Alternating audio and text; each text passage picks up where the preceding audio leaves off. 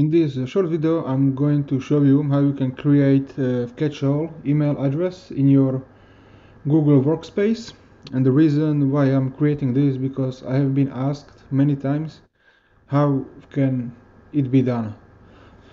So basically a catch-all address means that if somebody mistype your main email address like contact at example.com all emails will be received in your main inbox.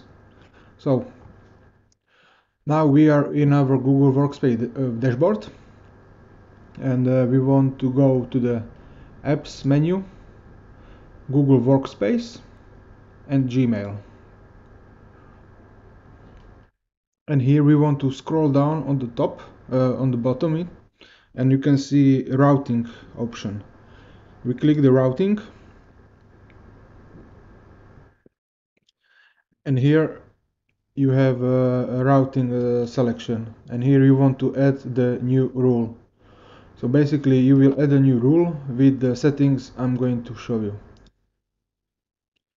So you can name this rule whatever you want but I chose it to name it catch all. First option uh, is email messages to affect. You want to create this rule for all emails that you receive. So it is inbound or, or internal receiving. Next time uh, next thing is uh, you need to specify the delivery address for the catch-all. So here you will add more recipients and you will add your email address. And you add your email address uh, here.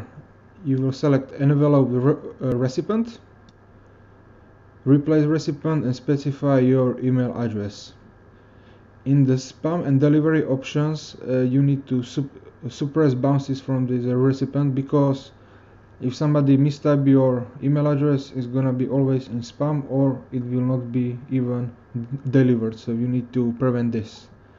And you click save. And lastly you will have show options here. And here you need to select unrecognized slash catch-all account types to affect and that's it. You click save. And now I'm going to demonstrate if that is properly working. So I'm going to misspell my email address. Let me compose a quick email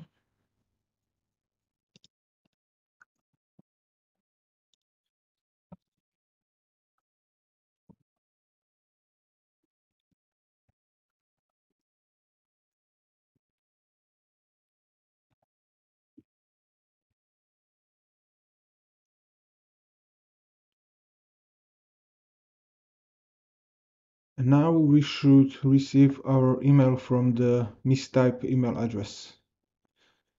Let me refresh it a little bit.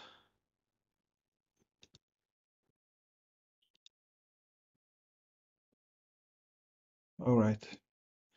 And here you can see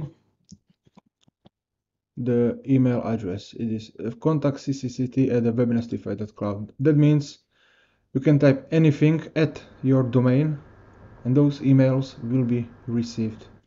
It is really helpful because sometimes the people or clients can misspell the email address so in this case no email will get lost so I hope you like this and you find this also useful